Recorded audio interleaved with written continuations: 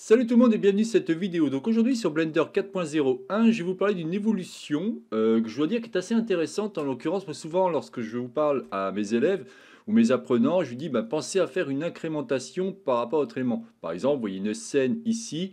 Euh, si je veux faire à chaque fois, je vais commencer par exemple pour la chaise, après je vais faire, je sais pas, le verre, le petit tabouret, et ainsi de suite. Et à chaque fois, je dis pensez à incrémenter votre scène. Là, moi, il s'appelle décor final, mais on peut l'appeler par exemple décor final underscore 00, 01, 02 et ainsi de suite. Et eh bien, ce qui est génial avec Blender, c'est qu'ils ont ajouté ça directement. Regardez, si je prends cette scène-là, je vais faire ici File je vais sauvegarder celle-ci. Vous voyez que maintenant, on a Save, mais on a élément qui s'appelle Save Incremental. Qu'est-ce que ça veut dire? Ça veut dire que celui-ci va rajouter à chaque fois plus 1, sous réserve que vous ayez mis évidemment un chiffre au niveau de votre valeur. Donc si je prends le premier, je vais cliquer sur Save As. Je vais l'appeler décor final évolution Blender 4 underscore 00. Alors oui, effectivement, en général, moi j'aime bien mettre des noms qui expliquent bien ce qu'il en est. Je clique sur Save As et tout va bien.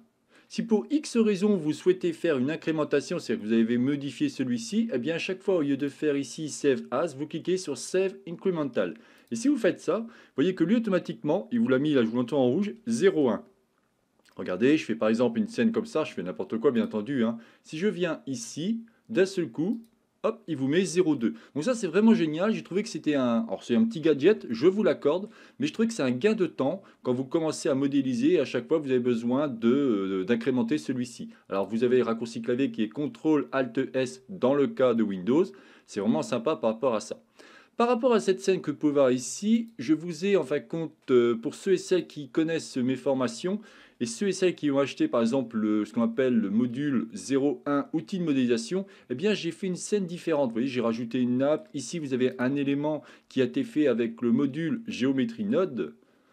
Euh, pour pouvoir justement un petit peu euh, finaliser celui-ci et faire une scène différente puisque j'ai fait en sorte à chaque fois de passer, c'était une formation qui était sur la version 2.83 après 2.93 et là j'ai fait une, évolution d'une vidéo de plus de 30 minutes sur la version 4 pour vous montrer quelles étaient les évolutions.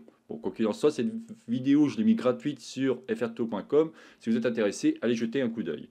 Pour finir, par rapport à mes formations sur donc, le site d'apprentissage ou le centre d'apprentissage frto.com, vous allez voir que si vous allez dessus en tapant Jean-Michel Rosé, vous allez retrouver mes différentes promos qui sont à 50%. Vous voyez, à chaque fois, là, mettons tout sur les volumes. Ici, c'était le module 0, les bases. À chaque fois, j'ai défini 50% jusqu'au 25 décembre. En gros, jusqu'à Noël, tout simplement.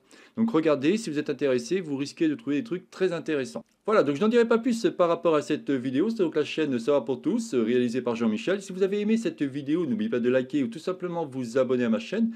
N'hésitez pas à me faire des commentaires, je me ferai un plaisir de vous répondre. Je vous souhaite une bonne journée et à la prochaine vidéo. Bye bye